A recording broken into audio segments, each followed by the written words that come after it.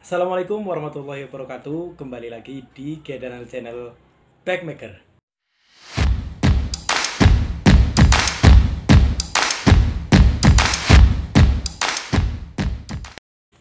Untuk memasang tipping tentunya kita memerlukan pembungkus ya teman-teman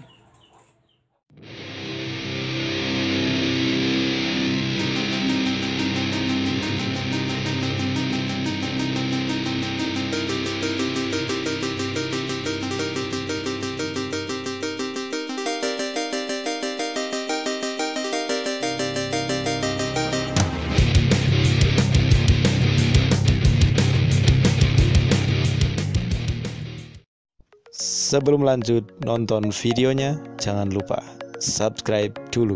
Terima kasih.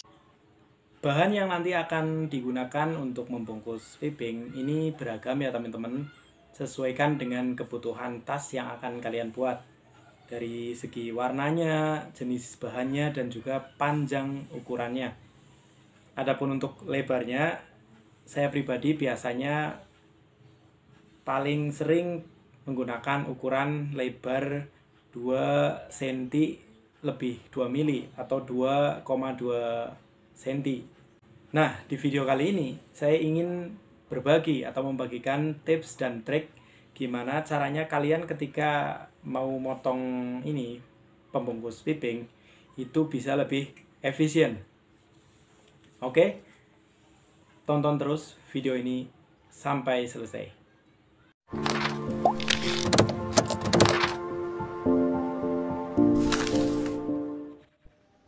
Jadi material yang mesti dipersiapkan adalah kaleng bekas slim, kemudian gunting, usahakan gunting yang sudah tidak terpakai, kemudian sentian atau meteran, palu, dan juga khusus di teknis ini kita sarankan untuk menggunakan sarung tangan.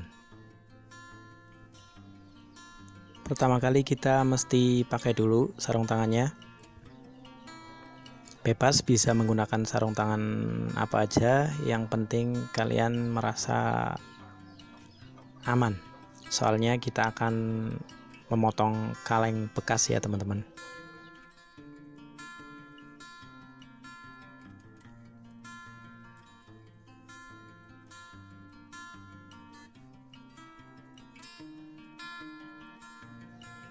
Oke, sudah siap. Sekarang kita ambil ini kaleng bekasnya kaleng bekas slim e, kita gunakan gunting yang benar-benar sudah terpakai ya teman-teman. Jadi nggak sayang. Ini untuk motong seng kaleng.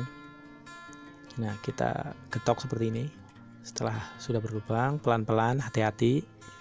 Nah ini makanya di sini disarankan menggunakan sarung tangan. Kita benar-benar harus pelan-pelan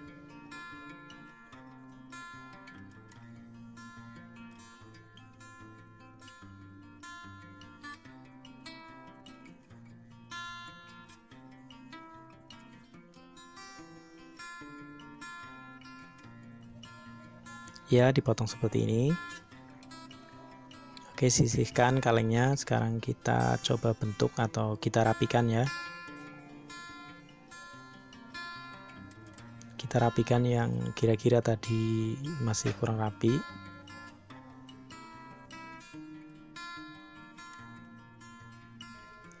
Ya bisa kita modifikasi potong lengkung seperti ini untuk ujungnya jadi enggak terlalu tajam nantinya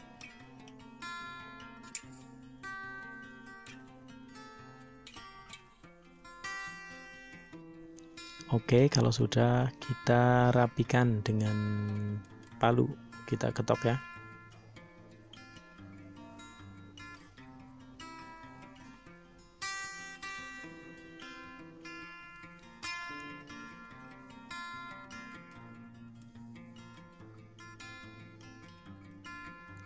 Sekarang proses selanjutnya adalah kita sisipkan kulit di dalam sengnya sembari kita lipat seperti ini kita lipat kemudian kita kasih kulit.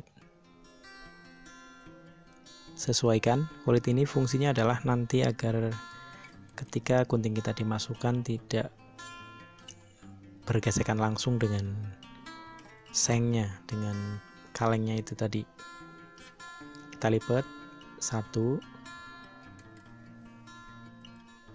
dua nah tiganya seperti ini kita lipat seperti ini kita bentuk oke okay.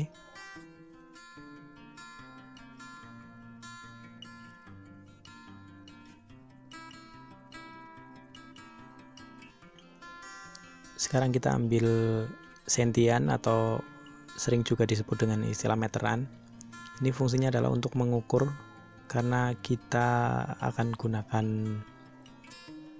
untuk memotong pembungkus piping maka seperti yang saya bilang di awal tadi lebarnya adalah 2,2 cm atau 2 cm lebih 2 mili.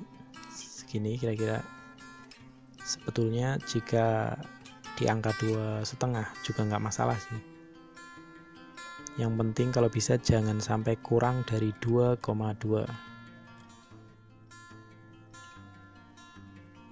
Oke sekarang kita nah ini kalau masih kurang kulitnya kita bisa masukin lagi.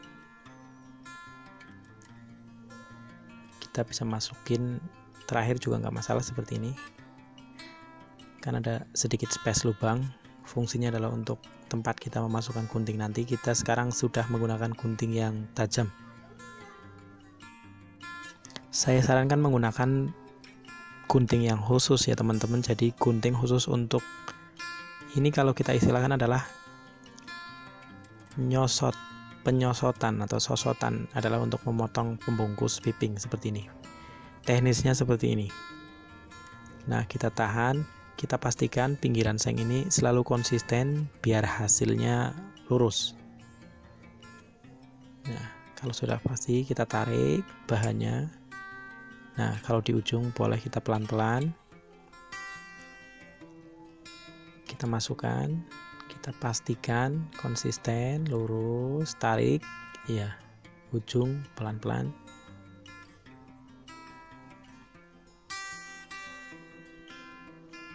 Seperti ini teknisnya, kalian sesuaikan aja jumlahnya dengan yang kalian butuhkan. Sekarang kita coba misalkan ini kita perlu yang ukurannya agak lebih panjang. Teknisnya sama seperti tadi bisa kita gunakan dengan cara seperti tadi pastikan pinggiran ini konsisten lurus. Tarik pelan-pelan kalau belum benar-benar bisa ya kuasai aja dulu. Oke. okay.